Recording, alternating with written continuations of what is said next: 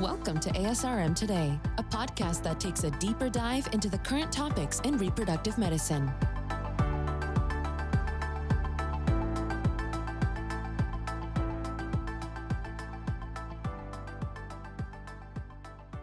Hello, everyone. I'm Dr. Jeffrey Hayes, your host for this episode of ASRM Today. On this episode, we are speaking with Alise Powell from the ASRM Office of Public Affairs about the 2020 state policy changes that ASRM has been instrumental in. Welcome, Alise. Thanks for having me on, Jeff. Again, my name is Alise Powell, and I'm from ASRM's Office of Public Affairs. I, together with others here in our DC headquarters, have the privilege of working alongside our partners in the field to propose and advance state policies to support family building and access to reproductive care. So today I'm here to share a couple of recent victories on the state level that have been some much needed good news in the midst of everything that's going on related to COVID-19. So I'll start with um, some great news coming out of Colorado. On April 1st, Governor Jared Polis signed the Colorado Building Families Act, which will provide insurance coverage for infertility treatments, including IVF and fertility preservation, effective January 1, 2022. This new mandate is projected to affect about 1.2 million Coloradans. What was the extent of infertility coverage that existed prior to this new infertility mandate? So, under the current law, infertility coverage only includes things like x rays, diagnostic lab procedures related to infertility and coverage for IUI. And what is in this new infertility mandate? So the details of the bill include coverage of three completed egg retrievals, unlimited embryo transfers, and there's no requirement that all embryos be transferred before completing more retrievals. It also covers fertility preservation, including storage fees, which is really great, and it mandates that infertility be treated as any other disease, meaning no additional copays or co-insurance requirements. And it also includes coverage of all necessary medications to treat the disease. So this historic legislation makes Colorado the 18th state with an infertility insurance law, the 12th to provide IVF coverage, and the 10th state to provide fertility preservation for cancer patients and others whose medical treatment may cause iatrogenic infertility. To give a little bit of the behind the scenes, I'll share a bit about ASRM's role in getting this piece of legislation enacted. So ASRM worked in concert with the Colorado Fertility Advocates, which is a grassroots advocacy organization made up of doctors, ART attorneys, patient advocates, many of whom are Resolve members, um, and the Alliance for Fertility Preservation. So the Colorado Fertility Advocates and Resolve hosted a lobby day on February 6th that I attended to represent ASRM at the state capitol in Denver, along with 65 other attendees.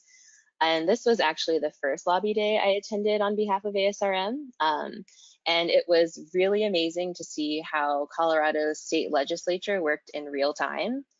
On the day we were there, both the House and the Senate were still in session and actually on the floor voting for the first half of the day. So it was awesome to see them in action.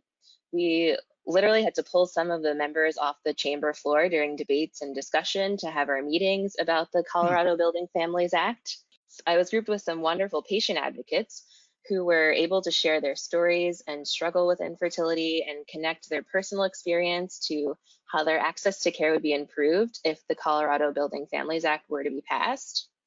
And actually, in a couple of the meetings I was present for, the lawmakers themselves, they shared a personal connection, either through a family member or a close friend who had gone through or been diagnosed with infertility themselves. Oh, okay. So I wanted to uh, make sure to give a quick shout out uh, to two ASRM members who testified before the House Health and Insurance Committee, um, Dr. Leslie Appiah and Dr. Sarah Barton. Thank you so much for giving your time to this important cause. It was really influential into getting this bill passed. To my knowledge, this was the one of the fastest moving infertility coverage bills that ASRM has worked on from introduction to signing in one session's time is a really amazing feat. And moreover, the bill passed with strong bipartisan support in both the House and the Senate. So with all of that said, as is often the case when a new law is enacted, there are a few yet unknowns. As of right now, the large group market will be implementing coverage, as I said, on January 1st, 2022. And the small and individual markets will likely be on the same timeline. However, there are some ACA regulatory formalities that must be asked and answered by the Department of Health and Human Services or HHS mm-hmm. before an implementation date can be confirmed.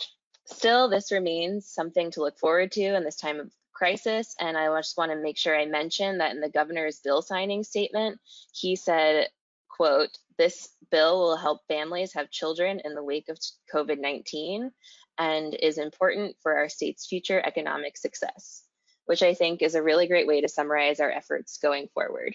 Next, I'd like to share a bit about our major win in New York State. On April 2nd, the New York legislature passed the state's annual budget, which included the Child Parent Security Act.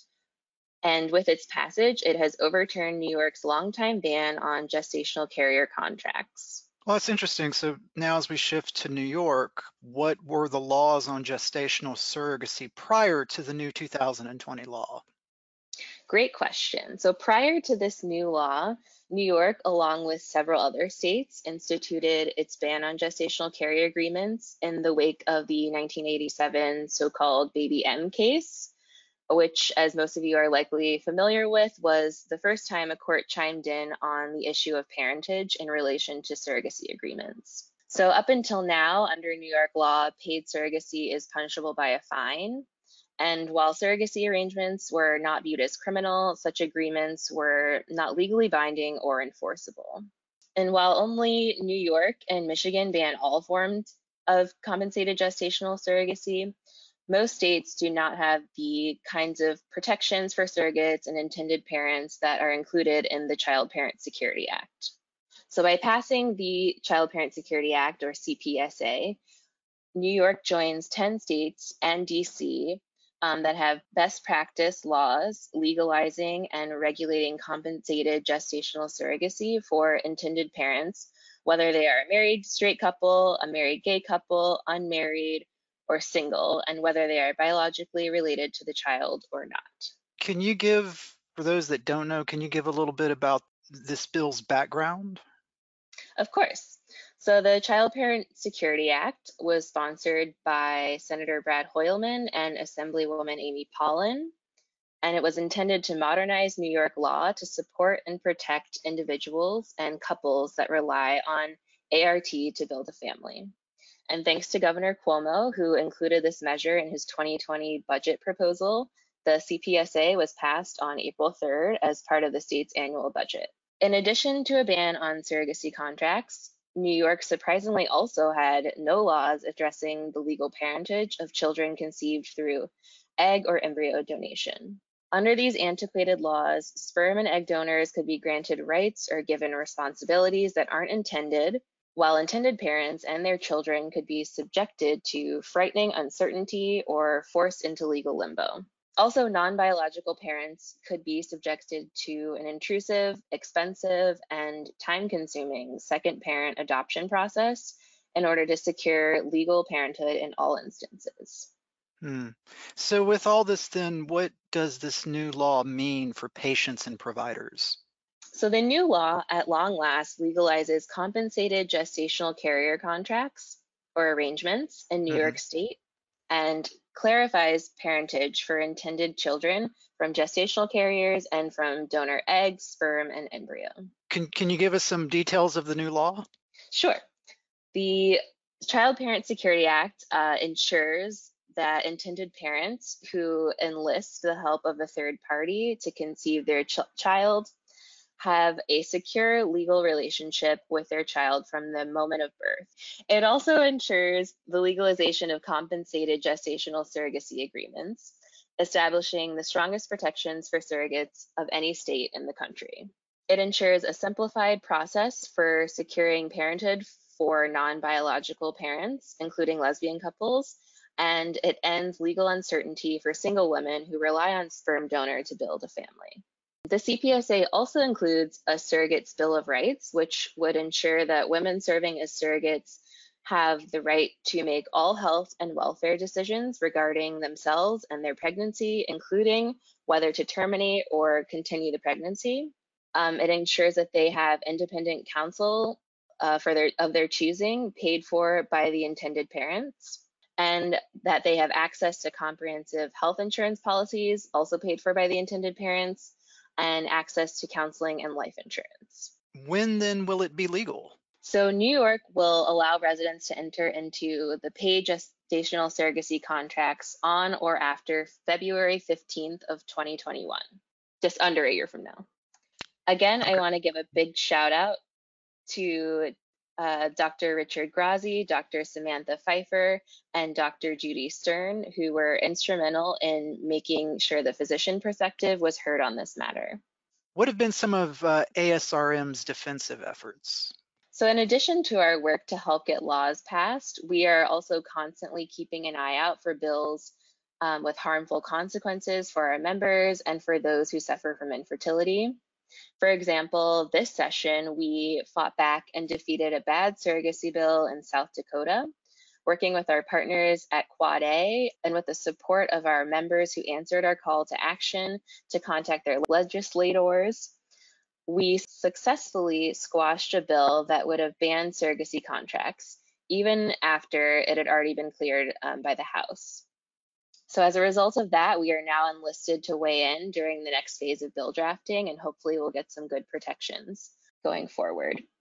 Also in Florida, we worked closely with our partners in the field to raise uh, to lawmakers, including the bill's author and sponsor, concerns and opportunities to strengthen a reproductive health bill.